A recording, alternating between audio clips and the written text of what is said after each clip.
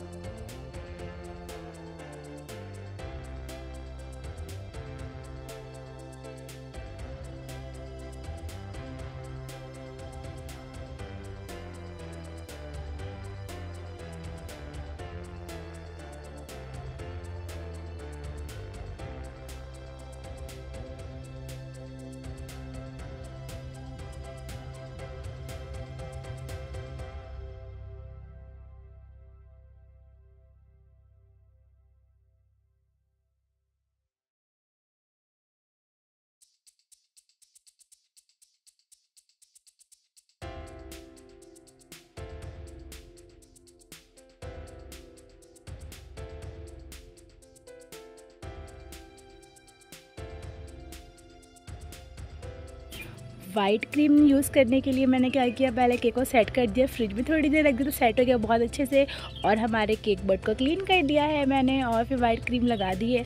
और आपको पता होगा, मैं एक्स्ट्रा कलर यूज़ नहीं करती हूँ केक पर, क्योंकि क्लाइंट को भी नहीं पसंद आता और ज़्यादा कलर यूज़ करने से ना केक का टेस्ट भी चेंज हो जाता है। तो मैं बहुत मिनिमम से मिनिमम कलर यूज़ करती हूँ।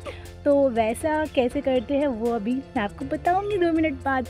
तो इसके लिए मैंने स्क्रैपर लिया है। 90 डिग्री पे आपको एकदम हल्के हाथ से रखना है और रोटेट करते जाना बहुत ही अच्छे से फिनिशिंग आ जाएगी। और लेस क्रीम वाला है ये केक वैसे तो मेरे ऑलमोस्ट केक लेस क्रीम ही होते हैं।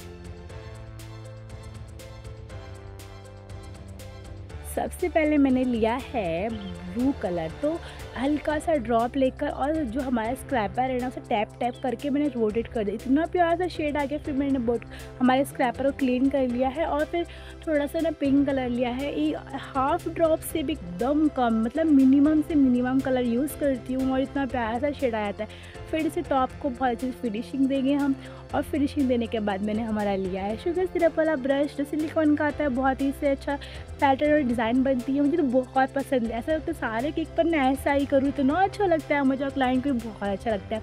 तो मैंने साइड से तो डिज़ाइन बना लिया, ऊपर हम पहले ना स्टैंडिंग वाइज पैटर्न बनाएँगे, फिर उसके बाद हम ना स्वेल वाला पैटर्न बनाएँगे, उससे हमारा केक का लुक बहुत अच्छा लगेगा।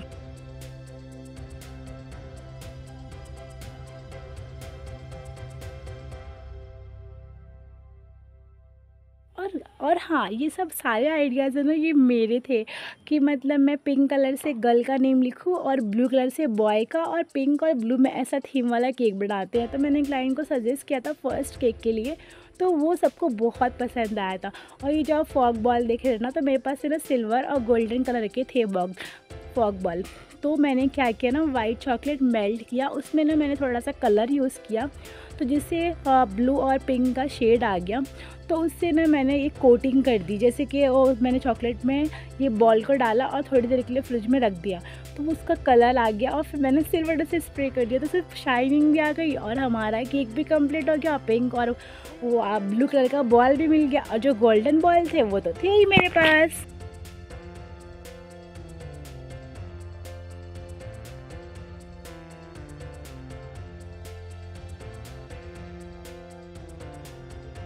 की चॉकलेट बची थी तो चॉकलेट मोल्ड पे मैंने डालकर ये जो चॉकलेट गार्निशिंग बना ली है, जो कि मैचिंग करता हुआ और वही सेम चॉकलेट से मैंने जो गर्ल और बॉय का नेम भी लिख दिया। तो कैसा लगा हमारा? बहुत ही सुंदर सिंपल चुकाड़ू वाला, प्यारा सा स्वीट सा क्यूट सा बेबी शावर वाला केक मुझे तो बहुत अच्छा लगा, मेरी क्लाइंट को भी बहुत पसंद आया टेस्ट तो ऑलवेज गुड रहता है।